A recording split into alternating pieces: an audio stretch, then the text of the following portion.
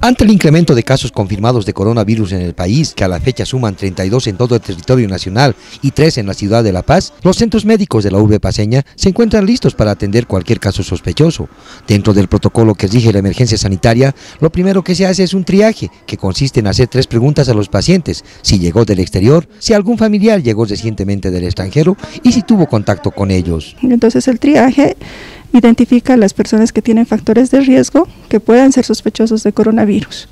Posteriormente se lleva al paciente a un área aislada, donde se termina de hacer la anamnesis y se realiza un examen físico y de acuerdo a ello se toman decisiones. Si es un paciente estable sospechoso se llama al CEDES para la toma de muestra y se deriva al paciente a su domicilio con las recomendaciones necesarias para que haga el cuidado allá.